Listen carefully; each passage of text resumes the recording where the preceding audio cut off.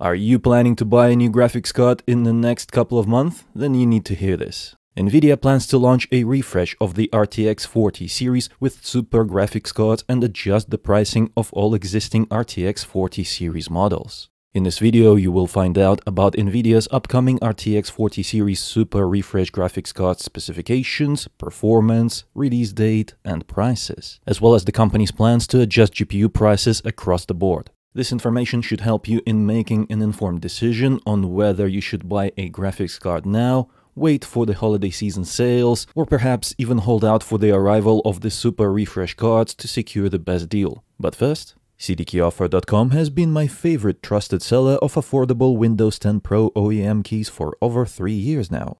They're currently running a Halloween sale on all Microsoft software. Use discount code IVADIM to get 25% off and bring the Windows 10 Pro price down to just $16. Then securely check out with PayPal or another payment method.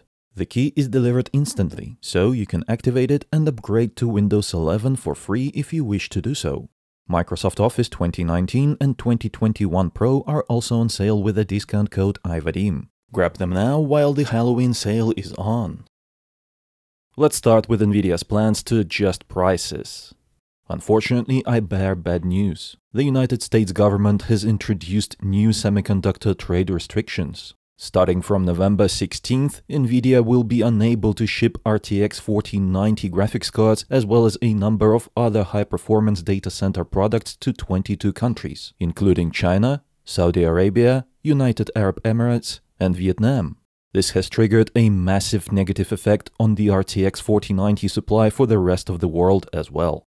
Firstly, Nvidia and its partners are rushing to get as many RTX 4090s as possible into China before the cutoff date, meaning that the rest of the world, including America and Europe, are not getting any resupplies anytime soon. It is very possible that the stores won't get any new stock until January next year. As a result, the RTX 4090 prices have already gone up. The cheapest models start at around $1,800. That is $200 higher than the MSRP. Secondly, Nvidia plans to use this situation to its advantage in more than one way. The company is hoping that restricting the RTX 4090 supply in the West over the holiday season will set in motion a cascading effect of rising prices across the rest of the RTX 40 series lineup over the next two months, just in time for the super refresh graphics cards launch rumored to take place early next year, most likely at the CES 2024 on the second week of January. People who are deciding between getting an RTX 4090 and 4080 will now be nudged towards buying a 4080 due to the higher RTX 4090 prices. That will increase the 4080 sales, and its price will climb back to its original $1200 MSRP or higher. As a matter of fact, it is already happening. Today I've seen fewer RTX 4080s available for under $1200 compared to when I last checked 3 days ago, so the price race has already begun and may spread further down the product stack. Probably not as far as the RTX 4060, but I won't be surprised to see the RTX 4070 go up in price as well. It is very sneaky of Nvidia and its partners to do this, as most people will think that the prices are up because of the holiday shopping rush and won't bat an eye. High graphics card prices will play right into Nvidia's hands when they launch the RTX 40 series Super refresh cards. There is a total of three new graphics cards coming, including the RTX 4080 Super, RTX 4070 Ti Super, and RTX 4070 Super. Although the exact specifications have not been 100% decided yet, I can tell you a pretty accurate range that will allow you to form your expectations correctly. The RTX 4080 Super utilizes the AD103 GPU chip paired with 16GB of memory. That is the same AD103 found in the RTX 4080, but it has more CUDA cores enabled and gets a core clock frequency boost at the expense of higher power consumption. Remember that the RTX 4080 Founders Edition coolers, as well as many partner coolers, are designed to handle TDP above 450 watts. So Super Refresh with a higher power consumption won't be an issue to implement on the same platform. NVIDIA is considering making the 4080 Super between 5 and 15% faster than the RTX 4080. Basically, it is designed to bridge the gap between the 4080 and the 4090 as well as improve competitiveness versus AMD's RX 7900 XTX. The company is considering to price the new GPU between $1,000 and $1,250. They will make the final decision on the price in the final weeks leading up to the product reveal. This is true for all the Super Refresh GPUs I'll talk about in this video. According to sources, Nvidia wants the Super Refresh prices to look good compared to the other RTX 40 series products. That is why Nvidia will benefit a lot from keeping the current GPU prices high leading up to the Super Refresh launch. The RTX 4070 Ti Super is yet another product based on the AD103 GPU chip that is a level up from the AD104 chip utilized to manufacture the RTX 4070 Ti.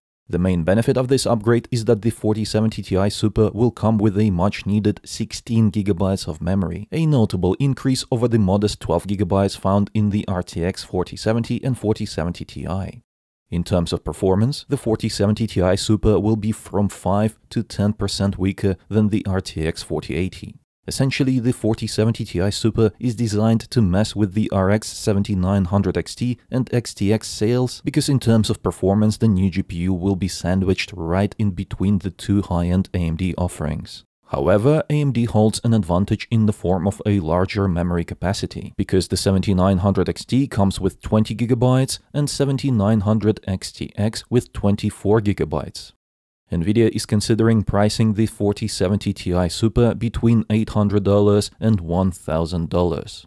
In my opinion, if it will be closer to $1,000, then I'll still be recommending the AMD options instead, purely because they bring better value to the table. The 4070 Ti Super needs to gravitate closer to $800 to bring any significant value improvements needed to disrupt AMD offerings in this segment. The RTX 4070 Super utilizes the AD104 GPU chip currently used to manufacture both the RTX 4070 and 4070 Ti graphics cards. As a result, the 4070 Super is stuck with the same less than ideal 12GB memory capacity as its 70 class siblings. In terms of performance, the 4070 Super will slide right in between the 4070 and 4070 Ti. So you'll be getting roughly the RTX 3090 level of performance with only half the memory. As for the price, Nvidia is considering the range between $600 and $700 for the 4070 Super.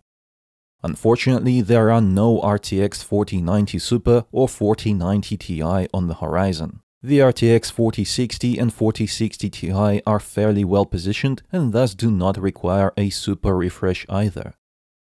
In conclusion, the super refresh cards have the potential to bring some positive changes to the GPU market, but as always it depends on the prices Nvidia decides to charge for them. Unfortunately, taking into consideration all that I've seen so far this year, I am not holding my hopes up.